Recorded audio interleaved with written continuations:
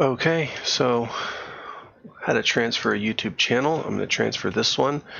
My channels are being reported and penalized quite a bit, and I don't want, um, if I lose my entire account, I don't want it to affect um, other entities that are not necessarily representative of me and my uh, behavior. So I'm going to I'm going to go to the settings as I'm logged into this account. Um, in other words, I don't want them shutting down Fort Lauderdale Baptist Church because of the behavior of TAC Times. TacTimes.com, T A C T I M E S.com. Website's currently under construction, but you can find TAC Times on YouTube. All right, um, here we go. A little little plug: add or remove managers.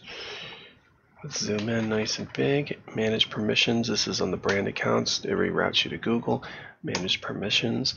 And over here, it tells me the managers and the status of this channel. And I'm going to take Lee Riffle and I'm just going to make him the primary owner. It's going to tell me da da da. Primary owner, he can add or delete owners and managers, change account permissions, including yours, delete this account completely, and I trust him. So I'm going to transfer that. Transferring Okay, he's primary owner, and I'm owner too. Okay, well, maybe I just want to go to manager. But anyway, I think we're good like this because I don't think they're going to delete it if he's primary owner. So that's interesting. I still get to retain some some ownership. It really doesn't matter to me.